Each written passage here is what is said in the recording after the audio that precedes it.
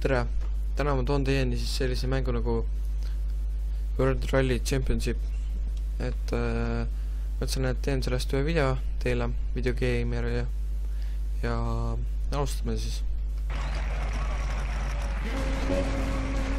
et äh, ise sain selle mängu, sain selle mängu endale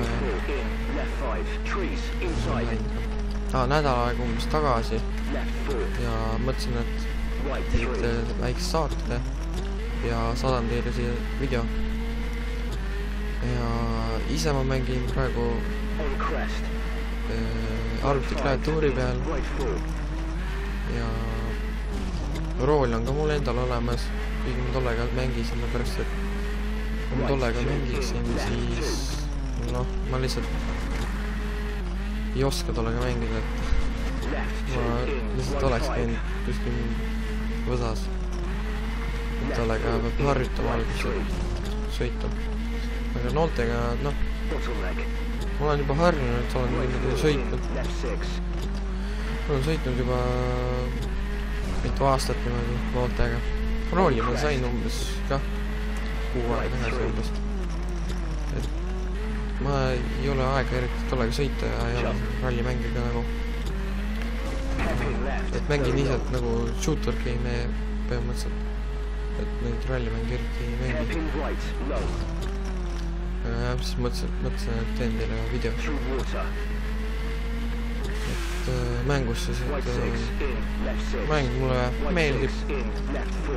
või, et äh, mäng meeldib mulle, et äh, ise, noh, polegi seda päris palju tegelikult meel-, mänginud, aga paar sõidukest ikka olen ära teinud, et äh, see on hea juhitavus ju, juhitavus ja seda mängu nagu mängitakse ikka rooliga nagu, reaalne mäng. et ise ei oska praegu nooltega.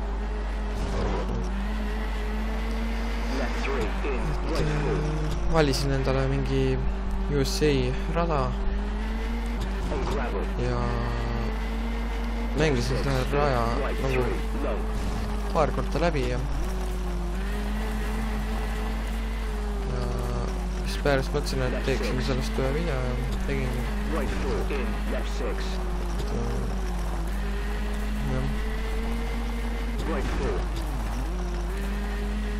praegu mul on, ma ei tea, mis auto mul ongi ma ei tea, mis, mis, mis ma valisin. oih. vabandust lag'i pärast, et mul on see nagu graafika nagu pole liiga maas ka veel, aga kui ma paneksin täitsa maha, siis nagu lag'i ei ole, aga lag, siis on nagu noh, graafik on seda hull. imelik see, et siis ma arvan, et on päris mõtet vaadata seda graafikat.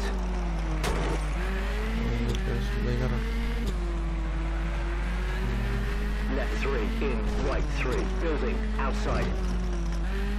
Jah, et äh, praegu on mingi noh, kolmkümmend viis FPS, et eriti aru ei ole saada sellest, et et äh, kolmekümnega nagu mängib ära juba, aga alla kolmekümne on, siis siis on ju praegu nagu näete, on esimene koht mul oih ja proovin jääda ka selleks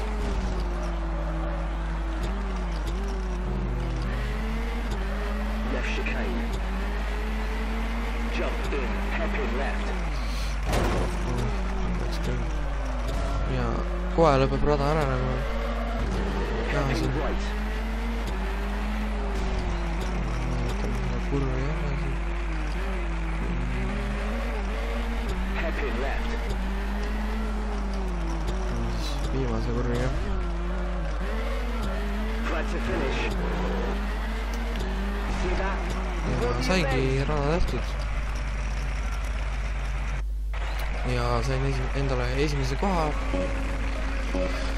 ja tänan vaatamast, et äh, jätke like, kui te tahate minu käest veel videosid, et praegu, praeguseks siis head aega